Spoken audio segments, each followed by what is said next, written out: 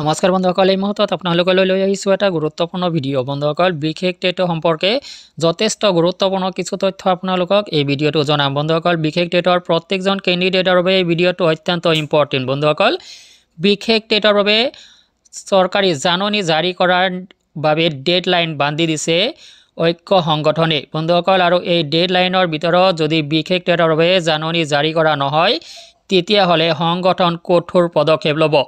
আৰু ধাৰাবাহিক আন্দোলন কাৰ্যসূচী গ্ৰহণ কৰা হ'ব। কোনদিনা ক'ত কি আন্দোলন কৰা হ'ব এই সম্পূৰ্ণ লিষ্ট আপোনালোকক এটা এই ভিডিঅ'টোত দেখুৱাবলৈ যত্ন কৰিছোঁ। বন্ধুসকল সম্পূৰ্ণ লিষ্টখন আপোনালোকক দেখুৱাৰ আগতে আপোনালোকক জনাই ৰাখোঁ যে বিশেষ টেটত যি নগণ্য সংখ্যক কেণ্ডিডেট পাছ কৰিছিল প্ৰায় ছয়ানব্বৈ শতাংশ কেণ্ডিডেট এই পৰীক্ষাত বিফল হৈছিলে। আৰু কি কাৰণত বিফল হৈছিল আপোনালোকে অৱশ্যেই অৱগত। তো বন্ধুসকল সেই তথ্যখিনি আপোনালোকক মই জনাই ভিডিঅ'টো দীঘল কৰিব বিচৰা নাই। তো আপোনালোকক ৰিচেণ্ট কিছু তথ্য জনাই ল'ব বিচাৰিছোঁ যে ইতিমধ্যে সংযোগী শিক্ষাকৰ্মী সন্থাকে আদি কৰি কেইবাটাও সংগঠন একত্ৰিত হৈ হাতীগড়ত এখন বৈঠকত মিলিত হৈছিল। আৰু এই সংগঠনৰ বৈঠকটো বৈঠক বৈঠকত সংগঠনকেইটাই অহা বিছ ডিচেম্বৰৰ ভিতৰত বিশেষ বাবে জাননী জাৰি কৰিবলৈ চৰকাৰক দাবী জনাইছে। আৰু যদি এই বিছ ডিচেম্বৰৰ ভিতৰত বিশেষ বাবে জাননী জাৰি নকৰে চৰকাৰে তেতিয়াহ'লে ধাৰাবাহিক আন্দোলন আন্দোলনৰ কাৰ্যসূচী গ্ৰহণ কৰা হ'ব বুলি জানিব পৰা গৈছে। বন্ধুসকল আপোনালোকক জনাম যে ইতিমধ্যেই অসমৰ মাননীয় মুখ্যমন্ত্ৰীয়ে বিশেষ টেট মাৰ্চত অনুষ্ঠিত হ'ব বুলি কৈছিলে। কিন্তু বন্ধুসকল বিশেষ টেট যদি মাৰ্চত অনুষ্ঠিত হয় তেতিয়াহ'লে এই কেণ্ডিডেটসকলৰ ওপৰত নতুন নিয়োগ নীতিৰ প্ৰভাৱ পৰাৰ সম্ভাৱনা আছে।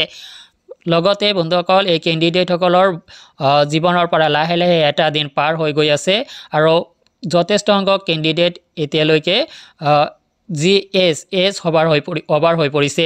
গতিকে এনে কিছুমান জটিল সমস্যাৰ বাবে হয়তো সন্তাৰ ফালৰ পৰা উমৈহতীয়াভাৱে চৰকাৰক এই দাবী জনোৱা হৈছে।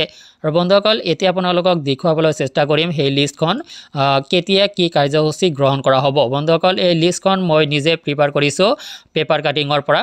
তো ইয়াতে আপোনালোকে চাওক যদি চৰকাৰে বিছ ডিচেম্বৰৰ ভিতৰত বিশেষ টেটৰ জাননী জাৰি নকৰে তেন্তে সকলো সংগঠন ঐক্যবদ্ধ হৈ এনে কাৰ্যসূচী গ্ৰহণ কৰিব। ইয়াতে চাওক তাৰিখ আৰু বাৰ কাৰ্যসূচী। একৈছ বাৰ দুই হাজাৰ একৈছ মংগলবাৰ সৰ্বশিক্ষাৰ কাৰ্যালয় ঘেৰাও কাৰ্যসূচী। অৰ্থাৎ একৈছ ডিচেম্বৰ মংগলবাৰ সৰ্বশিক্ষাৰ কাৰ্যালয় ঘেৰাও কাৰ্যসূচী গ্ৰহণ কৰা হ'ব। তেনেদৰে বাইছ ডিচেম্বৰ দুই হাজাৰ একৈছ বুধবাৰ তেজপুৰ লাষ্ট গেটত অনশন কাৰ্যসূচী। নেক্সট আহিলে ত্ৰিছ বাৰ দুই হাজাৰ একৈছ, অৰ্থাৎ ত্ৰিছ ডিচেম্বৰ দুই হাজাৰ একৈছ বৃহস্পতিবাৰ মুখ্যমন্ত্ৰীৰ বাসভৱন চলো কাৰ্যসূচী। নেক্সট আটাইতকৈ গুৰুত্বপূৰ্ণ এটা কাৰ্যসূচী ইয়াত উল্লেখ উল্লেখ আছে। দহ এক দুই হাজাৰ বাইছ, দহ জানুৱাৰী দুই হাজাৰ বাইছ সোমবাৰ। বন্ধুসকল, দহ এক দুই হাজাৰ বাইছ সোমবাৰৰ যি কাৰ্যসূচী, এয়া আটাইতকৈ কঠোৰ পদক্ষেপ এই কেণ্ডিডেটসকলৰ হ'ব। তো বন্ধুসকল এই যিখিনি লিষ্ট আপোনালোকে দেখিব পাইছে এই লিষ্টৰ বিভিন্ন তাৰিখ বা বাৰ অৱশ্যে সাল সলনি হ'ব পাৰে। কিন্তু মই যিখিনি তথ্যৰ জৰিয়তে আহৰণ কৰিছোঁ আৰু সেই তথ্যখিনিৰ ওপৰত ভিত্তি কৰি মই এই চাৰ্টখন বনাই দিছোঁ আপোনালোকক। তো বন্ধুসকল আপোনালোকে যদি এই আন্দোলন কাৰ্যসূচীৰ বিষয়ে অধিক জানিব বিচাৰে অৱশ্যে আপোনালোকে সন্থাৰ বিষয়ববীয়াসকলৰ লগত আলোচনা কৰি ল'ব। বন্ধুসকল ভিডিঅ'টো আপোনাৰ বন্ধু বান্ধৱীলৈ অৱশ্যে শ্বেয়াৰ কৰি দিব। লগতে চেনেলটোলৈ যদি আপোনালোকে নতুন আগমন কৰিছে অৱশ্যে চেনেলটো ছাবস্ক্ৰাইব কৰি ল'ব আৰু ভিডিঅ'টো সংক্ৰান্ত যদি আপোনালোকৰ কিবা মতামত আছে অৱশ্যেই কমেণ্ট কৰি জনাব। আজিলৈ এৰিছোঁ ধন্যবাদ।